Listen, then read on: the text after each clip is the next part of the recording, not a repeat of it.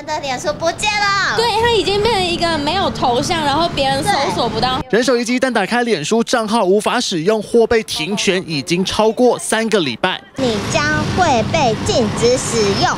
网红们靠脸书与粉丝互动冲人气，经营七年的小璇，脸书讯息打不开，害他工作少一半，一个月至少损失三万元。已经有一百七十五个人受害了，然后受害的对象几乎都是一些网红 model。还有靠着当 YouTuber 的若曦娘娘，团队一共八个人。脸书被停权后，虽然救回来，但影片观看人数从过去一点六万人次惨剩三百人次。我就上传一张自己的大头照，大概过二十四小时它就会还，但可是过了两三天，它又在封锁。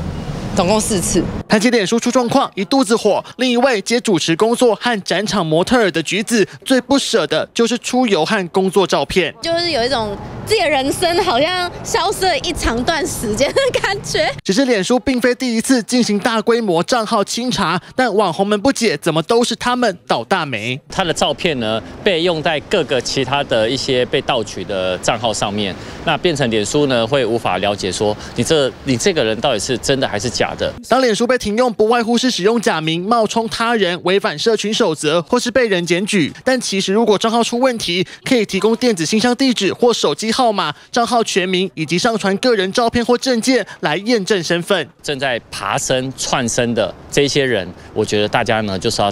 一定要特别小心跟注意。网红们被锁定，除了他们为了经营知名度，照片各资都设成公开，容易被盗用，加上名气又没有非常响亮，才会集体遇上这种状况。记者陈子芬、洪俊伟台报道。